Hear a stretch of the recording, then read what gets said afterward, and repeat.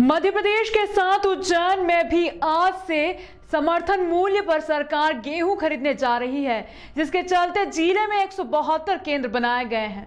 मध्य प्रदेश के साथ उज्जैन में भी आज से समर्थन मूल्य पर सरकार गेहूँ खरीदने जा रही है।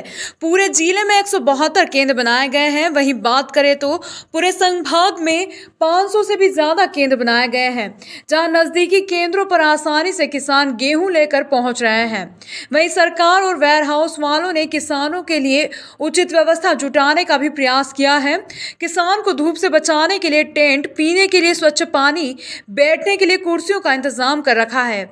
इस बार गेहूँ का दाम मंडी में तो 2400 से 2500 से भी ऊपर पहुँच चुका है।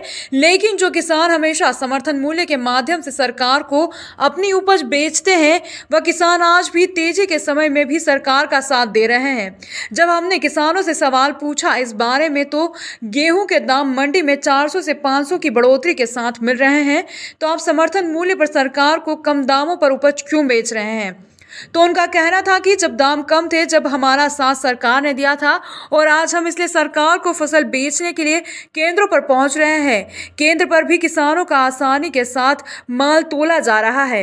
वहीं एसडीएम गोविंद दुबे के साथ खाद्य आपूर्ति निगम के अधिकारी मोहन मारू ने औचक निरीक्षण करने पहुँचे, जहाँ पर अधिकारियों ने किसानों से बातचीत की और वेयरहाउस के मालिकों से किसानों के लिए अच्छी से अच्छी व्यवस्था करें, जैसे आज पहले दिन की है।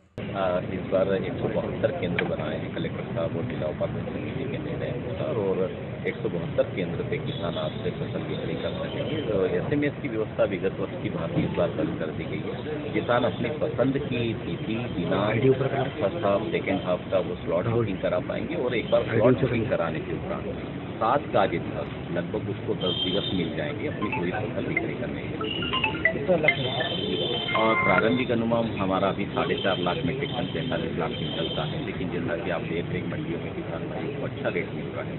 तो थोड़ी फ़सल उपार्जन पे खरीदी केंद्रों पे कम आने की संभावना है। सर, मूल्य